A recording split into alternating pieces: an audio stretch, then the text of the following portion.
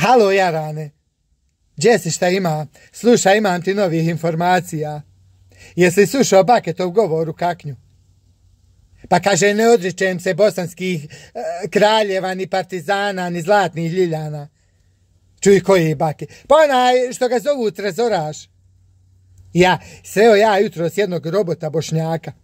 I znaš šta mi kaže čovjek? Kaže da je Bakir u stvari onaj Walter što je branio Sarajevo. Života mi je to kaže čovjek. Samo kaže neće da se hvali, vjera mu ne dozvoljava. Čuj, nije tad bio ni rođen. Bolan bio, bio se rodio i ostario.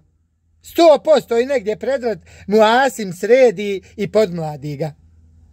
I tad je on bunji predložio Asima za konobara ako si ikad opari i ako ga krene s 20 maraka. Znamo kako je poslije bunju krenulo.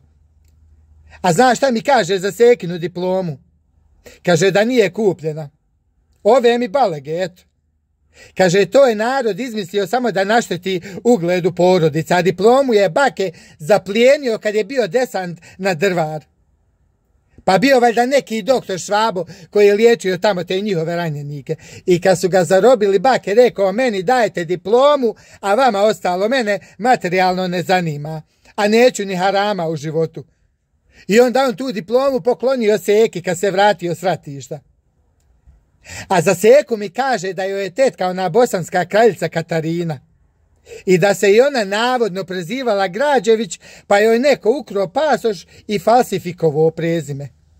Joj, šta mi je čovjek svašta napričao, ne bi mi vjerovao.